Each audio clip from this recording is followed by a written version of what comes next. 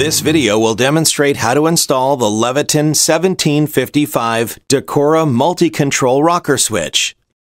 Please be certain to follow all instructions and diagrams provided with the product. If you're unsure about any part of the instructions or you're not comfortable or familiar with working with electrical wiring, contact an electrician.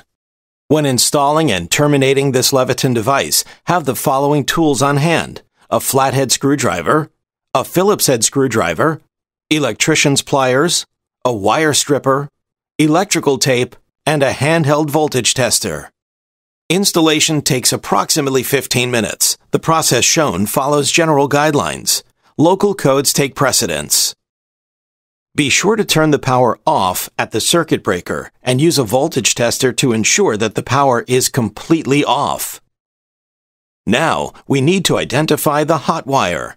To do this, turn the circuit breaker back on. Carefully use the voltage tester to test each wire. The hot wire will be indicated by the tester. Once identified, turn off the circuit breaker to shut power and test to ensure the power is off. Use a small piece of electrical tape to label the hot wire. In this example, there is one black wire which is the hot, three black wires which are the loads, and a bare copper wire which is the ground. Keep in mind, the color of the wires may vary. The hot wire may be black or red. The ground wire may be green or bare copper. If you're unsure, contact an electrician. Next, you need to be sure that the wires are prepared for installation. Start by making sure the wires are straight and stripped according to the strip gauge located on the back of the device.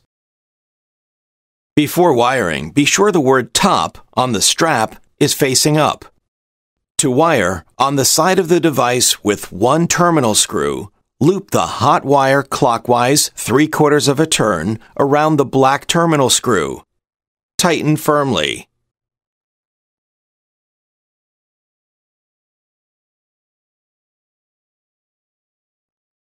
On the other side of the device, loop one black wallbox load wire clockwise 3 quarters of a turn around any of the silver terminal screws.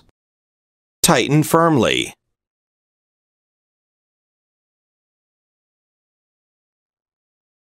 Loop another black wallbox load wire clockwise 3 quarters of a turn around another silver terminal screw.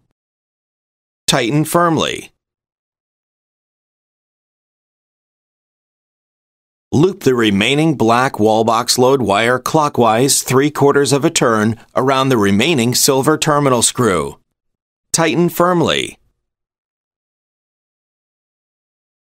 Finally, loop the ground wire clockwise 3 quarters of a turn around the green screw. Tighten firmly. The device is now terminated. Carefully position all wires to provide room in the wall box for the device. Mount the device in the wall box with the mounting screws provided. Attach the wall plate. Restore power at the circuit breaker. Test the installation by operating the top switch several times. The lights should turn on and off. Then, operate the middle switch several times. The lights should turn on and off. Finally, operate the bottom switch several times. The lights should turn on and off. If the lights do not work properly, refer to the troubleshooting section of the instructions. Your Leviton 1755 Decora multi-control rocker switch is now ready for use.